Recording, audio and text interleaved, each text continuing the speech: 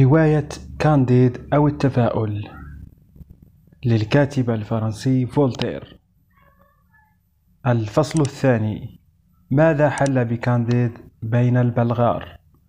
بعد أن طرد كانديد من الجنة على الأرض مشى طويلا من دون أن يعرف إلى أين يذهب باكيا ورافعا عينيه إلى السماء وملتفتا غالبا إلى أجمل القصور الذي تعيش فيه أجمل بارونا. ونام في وسط الحقول بين خطي محراة من دون أن يتناول طعام العشاء وكان الثلج يتساقط بغزارة وجر كانديد الذي كان يتجمد من البرد قدميه في اليوم التالي إلى المدينة المجاورة المسماة فالدبيرغوف ترارباك ديكدورف من دون أي مال وهو يموت من الجوع والثعب. توقف بحزن أمام باب حانا فلاحظه رجلان بلباس أزرق. قال أحدهما للآخر انظر يا زميلي هذا رجل شاب بهي الطلع ويملك الطول المطلوب.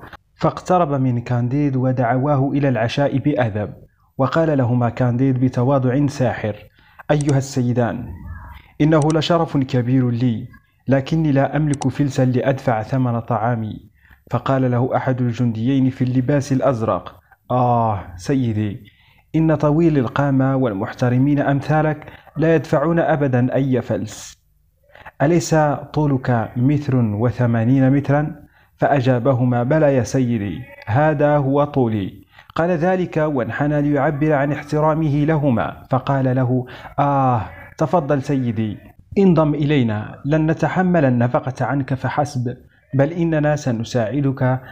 فقد خلق الرجال ليساعد بعضهم بعضا. قال له كانديد أنت محق. فهذا ما طالما ردده للأستاذ بانغلوس. وأنا أرى جيدا أن كل شيء يسير نحو الأفضل. رجواه أن يقبل بعض المال. فأخذه وأراد أن يوقع إقرارا بالدين لكنهما لم يقبلا. فجلسوا جميعا إلى الطاولة وسألاه ألا تكن حبا جما لي؟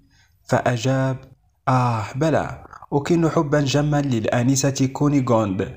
فقال أحد الرجلين كلا نحن نسألك إن كنت تكن حبا جما للملك البلغار. فأجاب كانديد على الإطلاق لأني لم أره يوما. فقال كيف؟ إنه الملك الألطف ويجب أن نشرب نخبة حسنا بكل سرور. أيها السيدان وشرب فقال له حسنا هذا يكفي أنت الدعم والسند والنصير وبطل البلغار. لقد أمنت حياتك ووصلت إلى المجد ووضع الحديد في رجليه على الفور وأخذاه إلى الجيش. فطلبوا إليه هنالك أن يستدير إلى اليمين وإلى اليسار وأن يرفع سلاحه ويخفضه وأن يصوب ويطلق النار ويوسع الخطى. وبعدها ضربوه بالعصا ثلاثين مرة وفي اليوم التالي أنجز التمرين بشكل أفضل بقليل.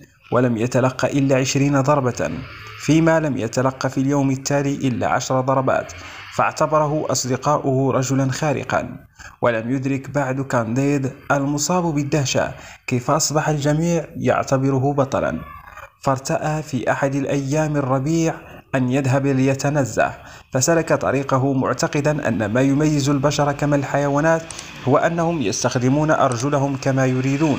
ولكنه لم يلبث أن مشى حوالي أربعة كيلومترات حتى أدركه أربعة أبطال آخرين يبلغ طولهم ستة أقدام وأوثقوه وساقوه إلى السجن.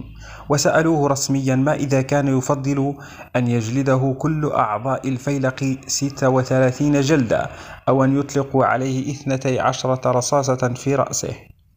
يجب أن نقول أنه يملك الخيار. وأنه لم يرد أيا من الخيارين لكن كان عليه أن يختار فقرر بفضل الهبة التي منحها الله والمسمات حرية أن يضرب ستا وثلاثين مرة بمذك البندقية فصار مرتين وكان الفيلق يتألف من ألفي رجل مما شكل أربعة آلاف ضربة بندقية كشفت عن عضلاته وأعصابه من الرقبة إلى المؤخرة. وحين أرادوا أن يباشروا بالجولة الثالثة كان كانديد قد أصبح عاجزا عن تحمل المزيد. فرجاهم أن يتلطفوا ويكسروا رأسه فحصل على مراده فعصبوا عينيه ووضعوه أرضا على ركبتيه. مر ملك البلغار في هذا الوقت وسأل عن الجريمة التي ارتكبها الخاضع للتعذيب. وبما أن هذا الملك كان عبقريا فقد فهم من كل ما أخبره إياه كانديد أن هذا الشاب عالم ما ورائيات يجهل بأمور هذا العالم. فعفى عنه عفوا ستتحدث عنه كل الصحف في كل العصور. وشفى طبيب جراح ناجح كانديد في ثلاثة أسابيع مستخدما الملينات التي ذكرها الطبيب ديسكوريد وكان كانديد قد استعاد قواه قليلا كما استعاد قدرته على المشي حين شن ملك البلغار حربا على ملك المغول.